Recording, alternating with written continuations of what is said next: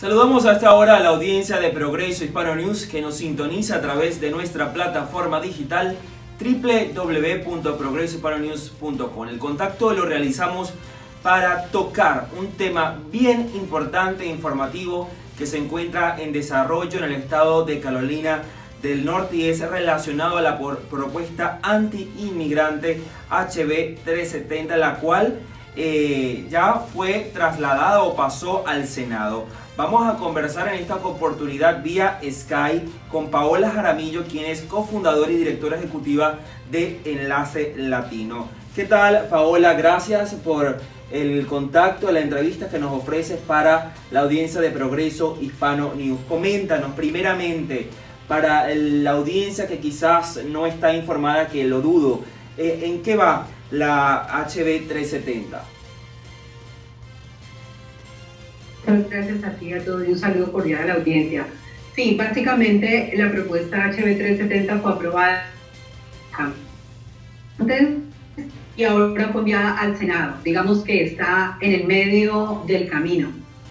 Ah, ahí va. No sabemos todavía eh, el Senado qué acción al respecto. Eh, por ahora no está en calendario, pero como apenas fue aprobada ayer es muy pronto para, para, para saberlo. Así que tendremos que seguir monitoreando las próximas semanas a ver qué ocurre. Paola, esto es una propuesta básicamente para iniciar la entrevista y explicándole a la gente que ubica a los alguaciles en una posición bien comprometedora, pues tendrían que trabajar, por así decirlo, de la mano con el servicio de inmigración y aduana en estos operativos de detención, ¿no? Básicamente lo que la propuesta hace es que los obliga a con inmigración, no a cooperar en el campo, sino a cooperar dentro de la cárcel. Eh, tendríamos que más o menos cómo funciona actualmente. Actualmente por estatutos de la ley estatal, eh, cualquier persona que es arrestada por un cargo penal, que tiene cargos penales graves por conducir en llega a la cárcel, ellos tienen que verificar quién es esa persona. Ahora, si la persona está indocumentada, ellos deben de verificar, deben de informar a inmigración que tienen una persona indocumentada con cargos eh, penales, con cargos criminales, con cargos penales y que ha sido arrestado por conducir en estado de ebriedad este, actualmente. Ahora, hemos visto que varios alguaciles en el estado, después de que fueron elegidos democráticamente el año pasado, decidieron limitar su cooperación con inmigración y otros acabar programas que entre sus, en sus cárceles funcionaba eh, para verificar el estatus que eran arrestadas, como en el caso del programa 287G. Entonces, eso ya no está ocurriendo en los, condados de Wade, de Mex, de y otros dos condados, y otros dos condados más que limitaron sus sus ah, acuerdos con inmigración. Lo que esta propuesta busca es ampliar ese rango de, de, cargos para que las personas, cualquier persona que sea arrestada por sea verificado su estatus de inmigración y las, y las autoridades locales tengan que informar inmigración que tienen a una persona eh, indocumentada arrestada indistintamente del cargo que, por el cual esa persona sea imputada. Paola, en el día de ayer, durante el debate de, esta, de este proyecto de ley, eh, fue aprobado 63 a favor y 51 en contra y ahora el proyecto pasa a la Cámara de Representantes. Hablando en español, en criollo, Paola, ¿qué significa esto? Ah, básicamente fue aprobado en la Cámara de Representantes y ahora pasa al Senado. Para que una propuesta se convierta en ley, uh, debe de haber dos, grandes partes en juego y una tercera que pase por, ah, por el total de la Asamblea General que está dividida en la Cámara de Representantes y dividida en el Senado. Llega, llega al gobernador. Entonces, en este momento es, eh, pasó el primer paso, que es la Cámara de Representantes, y ahora segundo paso que es el Senado. Todavía esto no es una propuesta que es ley, eh, pero está avanzando. Paola, a mí me causa curiosidad lo siguiente. Si esto es una propuesta que ubica a los alguaciles en una posición de colaboración dentro de las cárceles, no estamos hablando de que quizás van a ser partícipe o van a colaborar en estos operativos de detención. ¿Por qué ha causado esto tanta alarma, tanto, tanta tensión, sobre todo en la comunidad hispana? ¿Esto va quizás a, hacer más fácil las operaciones de AI? No, lo que pasa es que en Carolina del Norte ya tenemos una, una larga data de más de 10 años con un programa que hizo muchísimo daño a nuestra comunidad, que fue el 287G. Este programa ingresó en el 2006 y posteriormente pasó al condado de Wayne y se regó a otros condados.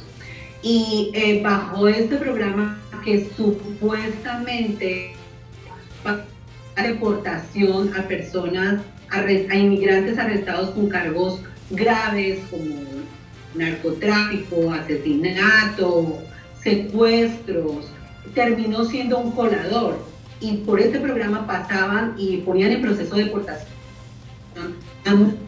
que habían sido arrestadas a menores de tránsito, simplemente por conducir con un foco que se había fundido, una luz delantera, que se cayó del bumper del carro, que no tenían una licencia. Todas estas personas fueron, fueron arrestadas, muchas de estas personas fueron arrestadas, personas que no tenían eh, antecedentes criminales, que vivían durante muchos años en el, en el Estado, que pagaban sus impuestos, sus familias en proceso de deportación.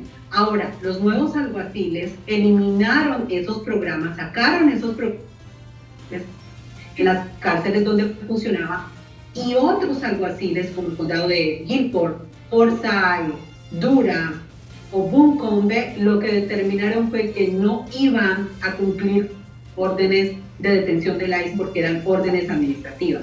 ¿Qué es lo que se teme ahora? Es que con la aprobación, si se llegase a aprobar esta propuesta, en el Senado y se convirtiera en una ley porque el gobernador la dejara pasar, en el caso hipotético, como un ejemplo, entonces por nuevo ese, ese, eso que vimos hace, hasta hace dos años atrás.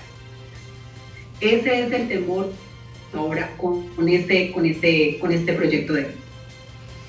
Eh, no sé, eh, Paula, si has estado o, o has tenido la oportunidad de estar allí eh, en estos debates entre legisladores allí.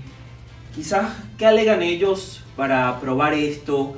Eh, tengo por acá entre mis datos que el eh, Destin Hall, quien es republicano y quien encabeza la promoción del proyecto, ha dicho que bueno, hay una gran cantidad de casos criminales en los que estarían relacionados inmigrantes. Allí durante esos debates que son a puerta cerrada, no sé si tú has estado allí presente, ¿qué, qué alegan ellos para llevar a cabo este proyecto? ¿Cuáles son las mayores razones?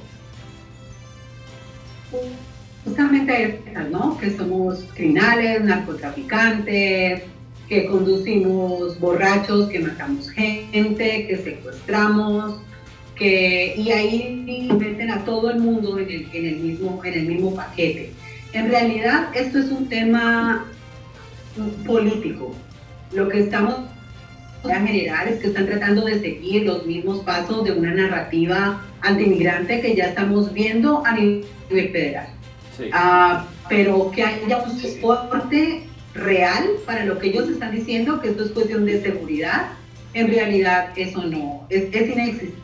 De hecho, como explicaba al principio, la ley actual ya obliga a los alguaciles a verificar el estatus migratorio de persona que está arrestada por un cargo grave, un cargo penal y por conducir en estado de ebriedad. Eso ya existe, eso ya se hace.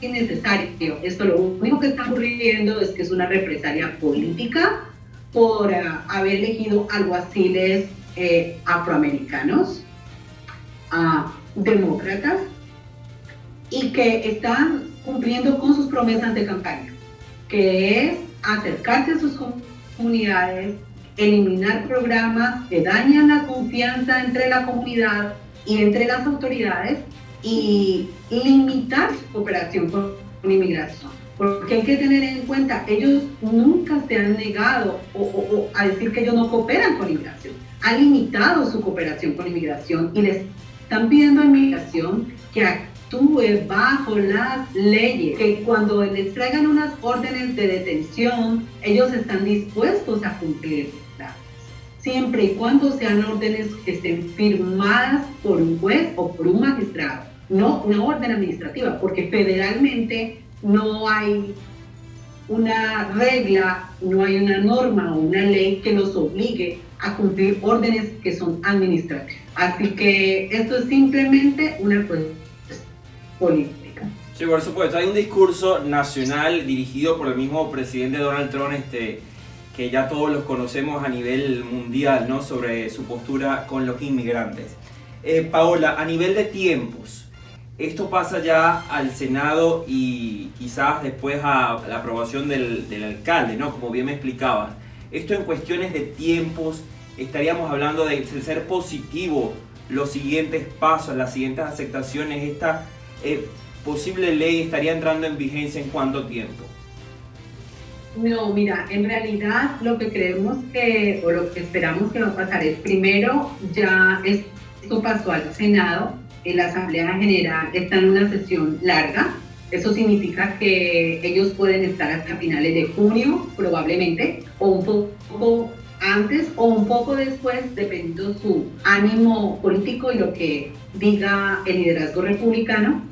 Y ellos tienen hasta antes de irse, eh, por parte del Senado, es decir, hasta principios del, de verano, para poder votar sobre esta propuesta de ley en el Senado. Supongamos o suponiendo que esta propuesta no tenga ninguna modificación, porque eso también hay que tenerlo en cuenta, si la propuesta es modificada significativamente, ella debe de devolverse a la CANTES para saber si están de acuerdo con esas modificaciones o no.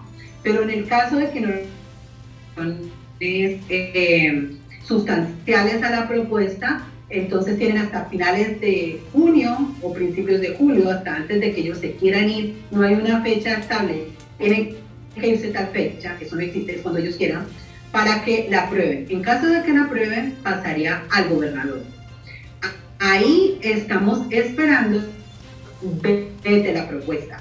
Si, si el gobernador la llega a vetar, entonces la propuesta no se convertiría en ley y regresaría a la Asamblea General y la Asamblea General tendría que votar de nuevo para poder levantar ese veto del gobernador. Así que estamos hablando de un proceso un, poquito, no es algo inmediato, muchas cosas pueden suceder de aquí a allá.